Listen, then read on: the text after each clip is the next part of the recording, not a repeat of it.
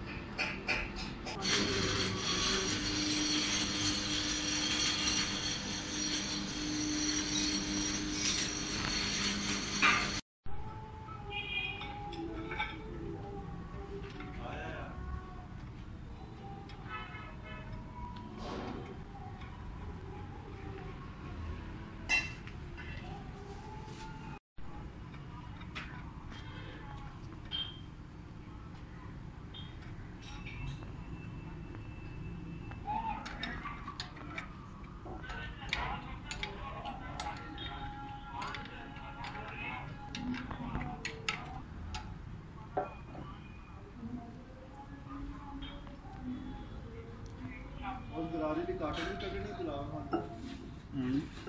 ਥੱਲੇ ਵਾਲੀ ਗਰਾਰੀ ਦੀ। ਉਹ ਛਾਫੜ ਵੀ ਨਾਲ ਨਿਕਲਿਆ ਵੀ ਪਹਿਲੇ ਇਹਦਾ।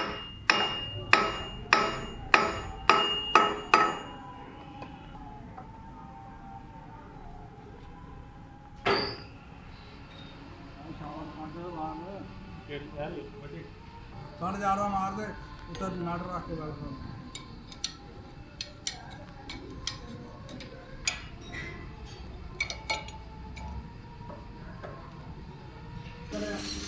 ਕਾਬਲਾ ਸਹੀ ਹੈ